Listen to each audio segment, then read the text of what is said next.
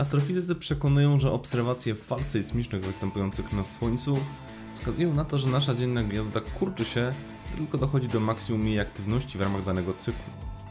Wyliczono, że promień Słońca zmniejsza się wtedy nawet o 2 km.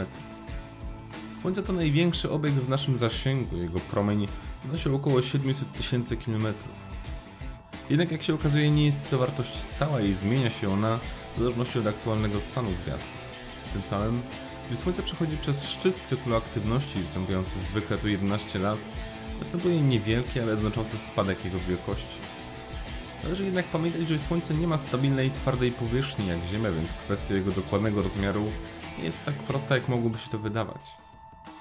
Jego obrót wokół osi powoduje, że gwiazda jest nieco spłaszczona na biegunach, a różnica średnicy polarnej i równikowej nosi około 10 km. Autorzy tego badania to Aleksander Kosowiczew z Instytutu Technologii w New Jersey oraz Jean-Pierre Roselot z Uniwersytetu w Nicei. Ich wspólne dzieło zostało już zaakceptowane do publikacji w prestiżowym czasopiśmie The Astrophysical Journal. W nowatorskiej pracy naukowcy wykorzystali dane na temat fal sejsmicznych, które propagują się w gorącym wnętrzu gwiazdy. Okazało się, że ich częstotliwość zależy również od jej wielkości. To z kolei pozwoliło na obliczenie jej średnicy z wielką precyzją.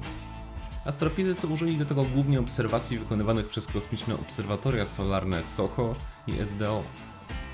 W rezultacie dowiedzieli się oni, że zwiększona aktywność magnetyczna zmienia poszczególne warstwy gwiazdy, powodując, że niektóre z nich stają się bardziej skąpe, podczas gdy inne stają się zagęszczone i sprężone.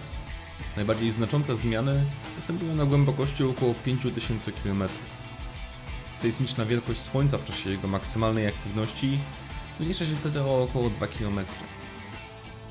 Autorzy podkreślają jednak, że wynik ten co do zasady nie jest sprzeczny z poprzednimi uzyskanymi innymi metodami.